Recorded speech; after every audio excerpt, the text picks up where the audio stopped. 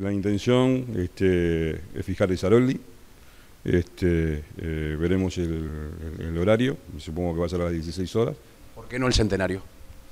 Y bueno, este, ya habíamos tomado de antemano una resolución, digo que en el centenario no, este, no íbamos a jugar, porque en definitiva digo, en el centenario creo que es importante jugar cuando, cuando viene el espectáculo, cuando el espectáculo realmente lo, lo, lo merece. ¿Por qué no San José? Y bueno, el tema de San José, este, lo estuvimos evaluando también, yo la llamé a unos compañeros y estuvimos evaluando y bueno, pensamos que la mejor opción era, era Montevideo, este, ya que se va a jugar a, a puerta cerrada también. ¿no? ¿Qué te da el Ejecutivo?